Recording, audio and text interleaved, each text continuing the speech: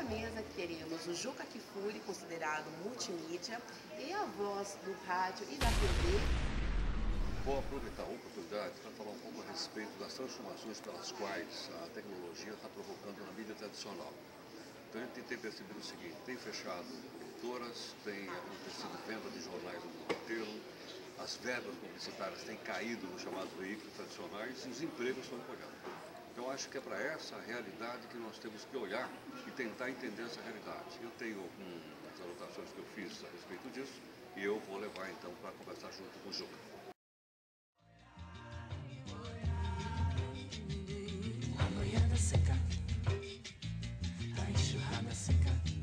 Nesse momento, cada vez mais pela escolha da profissão, qual é o conselho para quem começa agora no jornalismo? Bom, eu acho que o conselho é o seguinte, a gente, primeiro a gente tem que saber exatamente o que significa jornalismo. Né?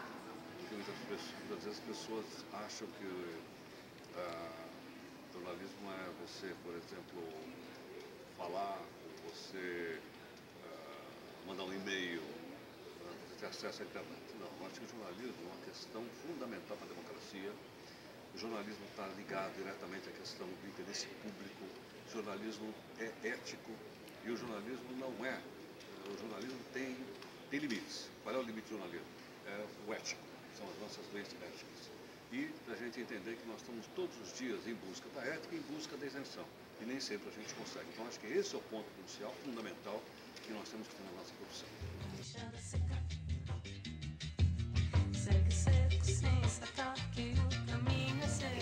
Então vamos deixar um recadinho, um convite para o Salão Nacional do Jornalista Escritor? Olha, eu gostaria de convidar todos. Eu acho que todos os jornalistas irão com certeza. Eu estou honrado em ser convidado. Mas eu gostaria de falar um pouco com o pessoal das escolas, das universidades, não só de jornalismo. Eu acho que um encontro como esse serve para estudantes de jornalismo, mas serve também para estudantes de áreas de ciências humanas. Então acho que você que faz sociologia, antropologia, faz história, uh, faz filosofia, eu acho que você deveria vir. Primeiro vai ser bom você ouvir os jornalistas falarem. E segundo, o contato entre essas diversas atividades, que estão todas elas debaixo do guarda-chuva das ciências humanas. Então quero convidar você, que estuda jornalismo, e você que estuda em área de ciências humanas, para vir estar conosco nesse grande simpósio que está sendo montado por um dos grandes jornalistas desse país, que é o Aldani Obrigada, Heródoto.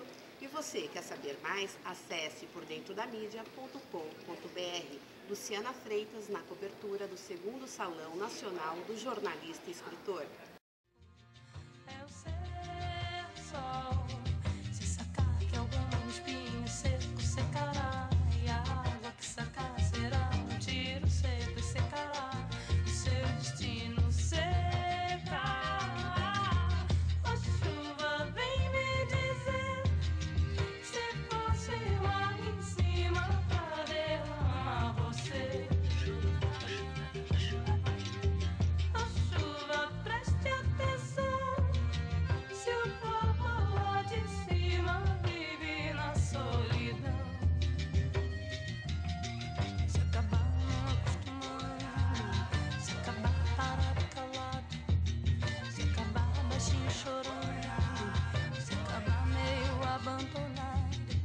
de ser lágrimas de solteiro.